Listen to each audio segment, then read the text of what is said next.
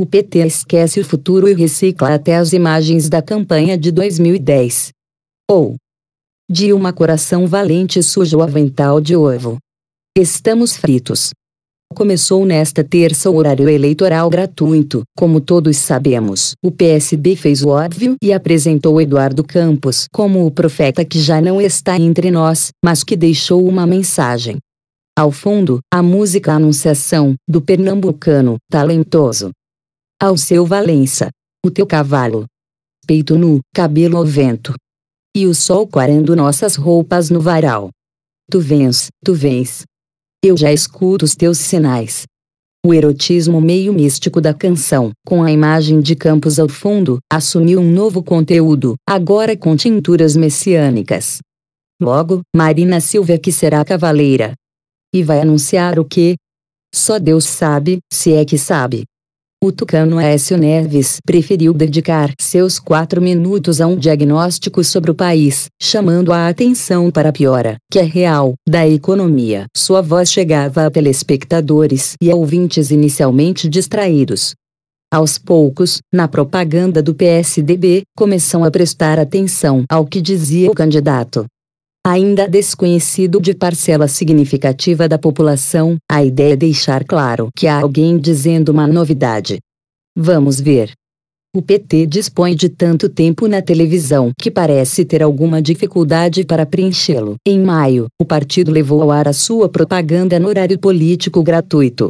Era um troço ameaçador comparava o Brasil de hoje, em que tudo seria uma maravilha, o que é falso, com aquele governado por FHC, quando tudo teria sido uma tragédia, o que também é falso. Escrevi, então, uma coluna na Folha em que observei o seguinte: depois de quase 12 anos no poder, o PT não tem futuro a oferecer. Por mais que o filminho de João Santana tenha as suas espertezas técnicas, a verdade é que a peça terrorista revela o esgotamento de uma mitologia. E foi, em parte, o que se viu nesta terça, na estreia do horário eleitoral. O maior partido do país não vai além de repetir velhas promessas. Na prática, admite que o governo vai mal, mas jura que vai melhorar se reeleito. Porque Dilma faria depois o que não faz agora. A campanha publicitária não diz. Quem se encarregou de sintetizar a mensagem foi Lula, afirmando que o seu segundo mandato foi melhor do que o primeiro. Atenção, não é verdade, sob qualquer aspecto, que os quatro anos finais da gestão Lula tenham sido melhores do que os quatro iniciais. Muito pelo contrário. O desajuste da economia que está em curso é uma herança do segundo governo Lula, piorada pela gestão Dilma. Sem um horizonte a oferecer, restou a campanha da presidente Dilma reciclar até as imagens do passado. Abaixo, há dois vídeos. O primeiro tem 10.039s e traz a propaganda eleitoral levada ao ar no dia 17 de agosto de 2010. O outro tem 2010 e é um clipe com o jingle Dilma, Coração Valente, da campanha deste ano. Vejam. Volto em seguida. Começa agora o programa Dilma Presidente. Mudança. Esta é a palavra que melhor define o Brasil hoje. Com fé e confiança, o brasileiro se acostumou a conjugar o verbo mudar. Mudar seu país, sua vida, sua região. Com estabilidade, sem sustos, sem conflitos. Com Lula, a gente aprendeu como isso é bom. E quer seguir mudando. Quer seguir em frente. Quer seguir no rumo certo.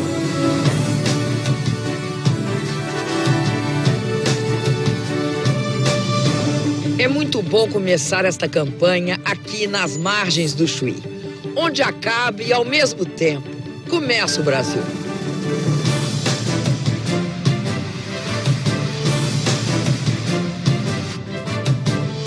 E é muito bom, Dilma, lhe responder da nossa região norte, onde o Brasil também começa e termina. Eu aqui no calor que faz à beira do Rio Madeira e você aí no frio do Arroz. Desse jeito a gente pode dar um abração no nosso povo, um abração do tamanho do Brasil e anunciar o início de um novo tempo. É, presidente, e o futuro começa sem que se interrompa o presente, porque o Brasil não quer e não pode parar. O povo brasileiro quer seguir construindo esse Brasil novo, onde cabe, sem exceção, cada brasileira e cada brasileiro. Nosso povo sabe que agora tem um projeto com a força e o tamanho.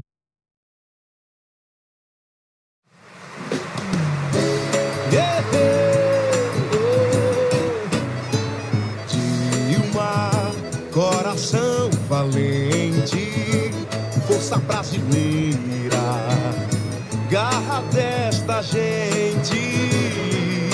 Oh, Dilma, coração valente, nada nos segura pra seguir em frente.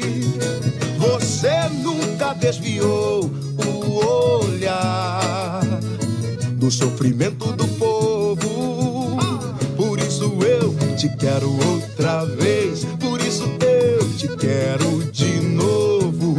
Você nunca vacilou em lutar em favor da gente. Por isso eu tô juntinho do seu lado. Tô com você e Lula pra seguir em frente. Mulher de mãos limpas,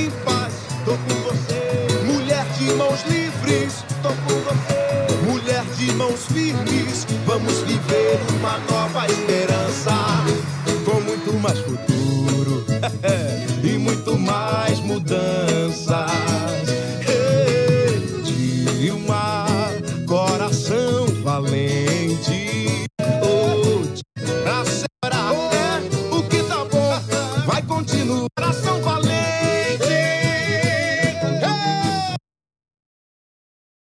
Volto em seguida. A peça publicitária de 2014 traz um fundo musical novo para imagens da campanha de 2010. Quem chamou a minha atenção para a repetição foi o jornalista Clayton Ubinha, que integra a equipe do programa Os Pingos nos Is, que vai ao ar todos os dias na Rádio Jovem Pan, entre 18 e 19. Vejam estes pares de imagens, a primeira é sempre da campanha passada. A segunda, da deste ano.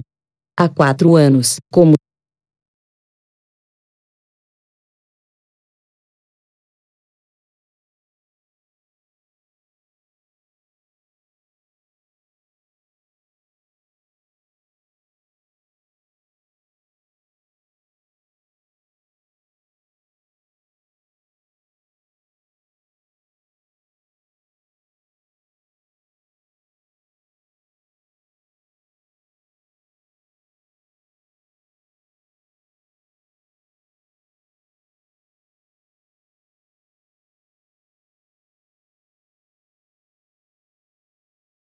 Agora, em há quatro anos, como se pode constatar, Dilma era oferecida ao eleitorado como a mãe do povo, a quem o pai, Lula, entregaria o país. Agora, em tempos em que a economia está mais para a madrasta da gata borralheira, a imagem da mãe já não cola.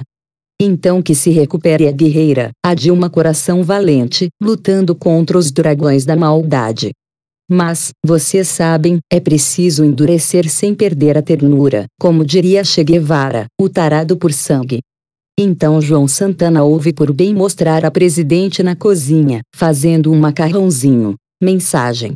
A coração valente também pode ser a mamãe com o avental todo sujo de ovo, como na música de Erivelto Martins, David Nasser e Washington Arline. Ovo, tomara, não estejamos todos fritos por Reinaldo Azevedo.